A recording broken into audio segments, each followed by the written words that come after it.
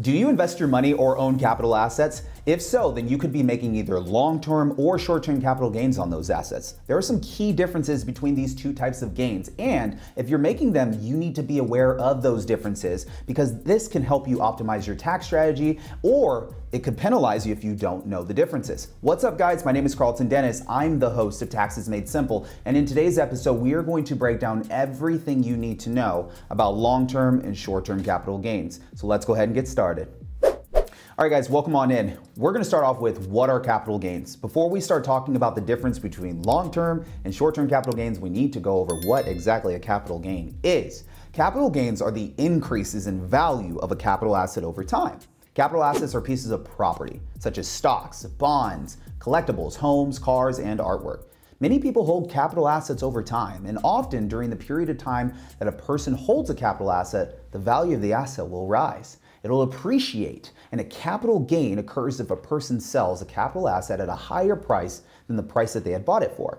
So to understand this, imagine that you bought a stock for $100. And let's say you held that stock for one year and sold it at a price of $200.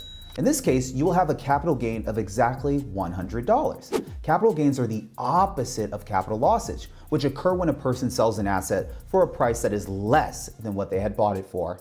So yes, unfortunately, it is possible to lose money when you sell capital assets. Now let's go ahead and dive into the differences between short-term and long-term capital gains. These are two different categories with two different tax consequences. And short-term capital gains refers to any gains that are made on an asset that you held for less than one year. And long-term capital gains are capital gains that are made on assets that you have held for more than one year. Whether your capital gains are short-term or long-term is relevant to you for tax purposes. This is because short-term and long-term capital gains are taxed extremely differently. Every time you sell an asset and make a profit, you are realizing a capital gain. This means that the IRS considers it a taxable event that must be reported on your income taxes. Both short-term and long-term capital gains must be reported on your income tax returns, but they are not taxed at the same rate. In fact, short-term capital gains are taxed as ordinary income, so you will pay the income tax rate on short-term capital gains that is designated for your specific tax bracket. The higher that your income is, the higher that your tax rate will be, and the higher that your short-term capital gains are. For 2021, the tax rates are 10% if you're a single filer and you make less than $9,950 in the year. And then you jump into the 12% bracket. That's between 9,551 and $40,525. The 22 bracket ends at $86,375. And then you have the 24% tax bracket that goes all the way up to $164,925.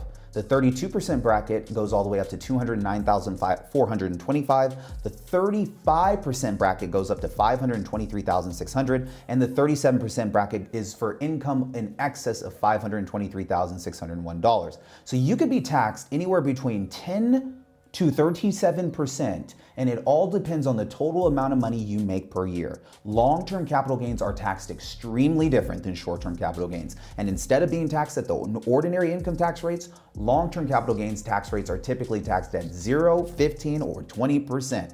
If you make up to $40,400 a year, long-term capital gains are taxed at 0%. If you make between 40,000 401 and 445,850, you're in the 15% tax bracket. And if you make over that, your gains are taxed at 20%. So your long-term capital gain tax rate will either be zero, 15, or 20% depending on the amount of money you make per year. Creating a tax strategy for capital gains, generally speaking, it is usually cheaper to pay long-term capital gains tax as opposed to short-term capital gains tax. And for this reason, many people prefer to hold on to their investments for longer than 365 days to avoid the short-term capital gain taxable event. However, it does not always make sense to try to hold on to your assets for long term or more than a year. Sometimes you might want to flip, such as flipping real estate. And if you're flipping a piece of real estate, then it can make sense to try to flip it within a few months as opposed to waiting a few years. This is because you will be able to access your profits faster and you won't have to keep paying the mortgage and other costs such as these heavy loans that most flippers take out. It's all associated with the flipping business. So for many real estate investors, many wholesalers, many flippers who are paying higher short-term capital gains tax can always figure out a tax strategy to help them reduce their tax bill. Oftentimes, real estate investors need to be able to take advantage of short term market conditions, which also makes selling in the short term the better option, even if there's higher capital gains taxes. So, this is a way in which we can start planning out our finances and coming up with a strategy. Similar to real estate investors, many stock traders also have the ability to take advantage of short term market conditions in order to lock in profits. For many of these people, it doesn't make sense to hold on to stocks for more than a year because the opportunity could completely be gone if they held on to these stocks. It could disappear by then.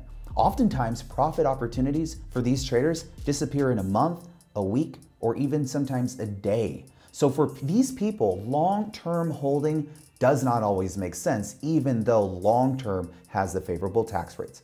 Ultimately, the best capital gain strategy for you will depend on your individual situation and whether or not you need to take advantage of short term market conditions. Some people prefer to hold assets for less than a year, and for this reason, they will always be subject to the short term capital gains rates, up to 37%. But for those who wish to hold on to their capital assets for longer than a year, will get to experience these lower rates.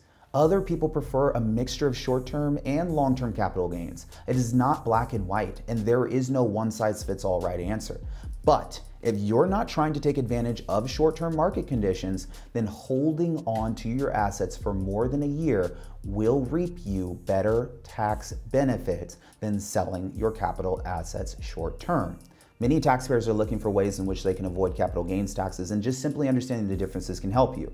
Capital gains for artwork, unlike with most other types of capital gains, art related capital gains are subject to a flat rate of 28%. So if you're trying to sell artwork and report your capital gains to the IRS, you may discover that the capital gains tax rate is just a little bit significantly higher than your capital gains associated with other assets. You held the artwork for over one year, you'll still pay this 28%. What makes things even more difficult regarding art related sales is the fact that oftentimes you will have to pay hefty commission fees on top of the capital gains tax rates. And sometimes these commissions are going to the auction house, they're going to private sellers, they're going to other middlemen, and they can be as high as up to 25%. Because the capital gains tax rates and commissions are so high, we strongly consider factoring these in if you're trying to do some tax planning or if you're trying to get into art or make money off of art sales. A lot of people who sell art lose more than 50% of the profit right off the bat due to capital gains tax rates and commissions. So keep this in mind if you're thinking about using art as an investment vehicle. To conclude, guys, I just want to summarize capital gains taxes are taxes that you're required to pay when you sell capital assets for a price that is higher than the price that you purchased it for. Capital assets include significant pieces of property, such as real estate. We talked about stocks, bonds, cars, art, etc. And there are two different types. There's short-term capital gains and long-term capital gains. Short-term capital gains are capital gains accumulated in a time frame of less than one year, and long-term capital gains are capital gains accumulated in a time frame that is held for longer than one year. Generally speaking, long-term capital gains have lower tax rates, but it doesn't make sense to all investors if they're holding onto capital property to always sell at a long-term capital gain. Thank you guys so much for joining this video, and if you found any value, please remember to like, comment, subscribe. If you're looking for more training on how you can avoid capital gains tax, I have a link below on a free training on how you can use real estate to avoid capital gains tax. I look forward to seeing you inside the training. If not, I'll see you on the next video. Cheers.